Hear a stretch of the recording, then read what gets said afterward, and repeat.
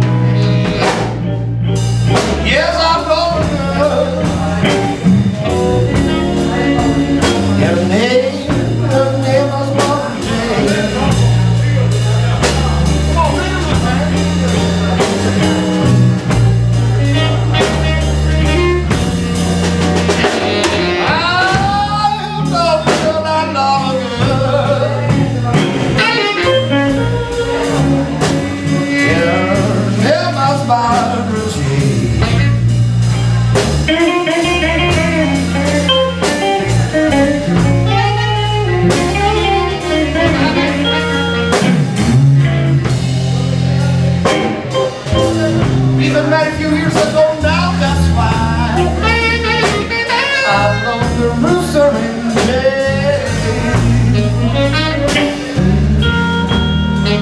the in